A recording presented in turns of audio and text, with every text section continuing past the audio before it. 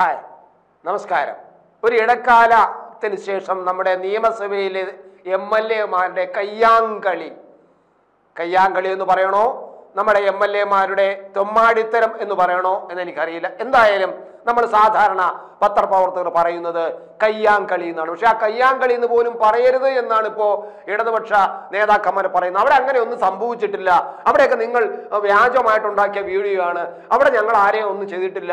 അവിടെ ഒന്നും ഞങ്ങൾ നശിപ്പിച്ചിട്ടില്ല എന്നാണ് ഇപ്പോൾ പറയുന്നത്. നിയമസഭയിൽ ഒരു കയ്യാങ്കളിയും നടന്നില്ല എന്നാണ് പറയുന്നത്. അങ്ങനെ ഒരു കയ്യാങ്കളിയും നടന്നില്ല എന്ന് പറയുമ്പോൾ തന്നെ ഇതാ ഇപ്പോ മറ്റൊരു വാർത്തയും കൂടെ പുറത്തു വന്നിരിക്കുന്നു. അത് ശിവൻകുട്ടിയും മന്ത്രി മന്ത്രി ശിവൻകുട്ടിയും അതുപോലെ കെ ടി ജലീലും കോടതിയിൽ പോയി ചെല്ലുകയും ഞങ്ങൾ കുറ്റം ചെയ്തിട്ടില്ല എന്ന് പറയുകയും കോടതി മറ്റൊരു ദിവസത്തേക്ക് കേസ് മാറ്റുകയും ചെയ്ത ഒരു വാർത്തയുണ്ട്. അത് മാത്രമല്ല മറ്റൊരു വാർത്തയും കൂടി ഇപ്പോൾ ഇതാ നിയമസഭ കയ്യാങ്കളിയുമായിട്ട് ബന്ധപ്പെട്ട് പുറത്തു വന്നിരിക്കുന്നു. അവിടെയാണ് ഞാൻ കയ്യാങ്കളി എന്ന് പറയരുത് എന്ന് ഇടതുപക്ഷങ്ങൾ പറയുമ്പോൾ അവർ തന്നെ പറയുന്നു നിയമസഭയിൽ വെച്ച് ഞങ്ങളെ എം ഒരു വനിതാ M L A K K കോൺഗ്രസ്സുകാർ കയ്യേറ്റം ചെയ്തു. അധിക്ഷേപിച്ചു കയ്യേറ്റം ചെയ്തു എന്ന് പറയാം. അത് കയ്യാങ്കളിയല്ലേ? സ്വന്തം എം എൽ എ ആയ വനിതാ എം എൽ എ ആയ കെ കെ പിന്നെ കോൺഗ്രസിന് രണ്ട് എം എൽ എമാർ കയ്യേറ്റം ചെയ്തു എന്ന് പറയുമ്പോൾ നിയമസഭയ്ക്കകത്ത് കയ്യാങ്കളി നടക്കാതെ അവിടെ അങ്ങനെ ഒരു സംഭവം നടക്കുമോ?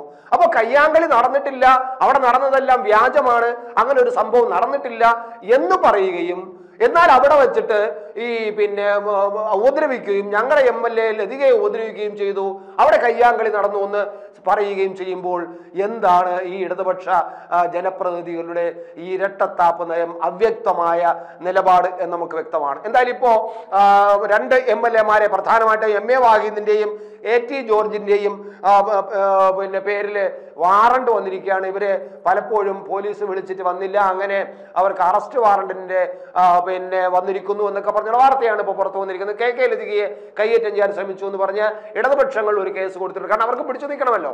കാരണം ഇവിടെ മൈക്ക് അടിച്ച് പൊളിക്കുന്നു മേശ അടിച്ച് പൊളിക്കുന്നു മേശ മോളി കൂടെ ശിവൻകുട്ടി ചാടി കയറുന്നു. അപ്പുറത്തേക്കും പിന്നെ ഇ പി ജയരാജൻ വന്ന് പിന്നെ സ്പീക്കറുടെ കസേരെടുത്ത് വലിച്ചെടുത്ത് മറിച്ച് മറിച്ചെറിയുന്നു.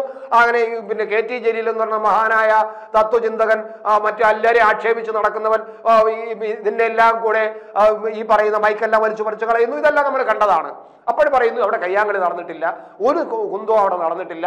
ഈ പറയുന്നതെല്ലാം ഇടതുപക്ഷങ്ങളുടെയും പിന്നെ അത് അല്ല പിന്നെ പ്രതിപക്ഷങ്ങളുടെയും മാധ്യമ പ്രവർത്തകരുടെയും സൃഷ്ടിയാണെന്ന് പറയുമ്പോഴും പറയുന്നു അവിടെ വെച്ചിട്ട് ഈ സമയത്ത് ഒരു കയ്യാങ്കളി നടന്നുവെന്നും ആ കയ്യാങ്കളിക്കിടയിൽ ഞങ്ങളുടെ എം എൽ എ ആയ കെ കെ ലതികയെ രണ്ട് കോൺഗ്രസ്സുകാർ ആക്രമിച്ചുവെന്നും പറയുന്നു. ഇതാണ് നമ്മൾ കാണുന്നത്. എന്തായാലും ഇപ്പോൾ ഒരു ഒരു രണ്ടാമത് നമുക്ക് കുറേ കാലത്തിന് ശേഷം നമ്മുടെ നിയമസഭയിലെ തർക്കം അല്ലെങ്കിൽ കയ്യാങ്കളി അല്ലെങ്കിൽ അവിടെ നടന്ന തെമ്മാടിത്തരം വീണ്ടും ഒരു വാർത്തകളിൽ നിറയുകയാണ്.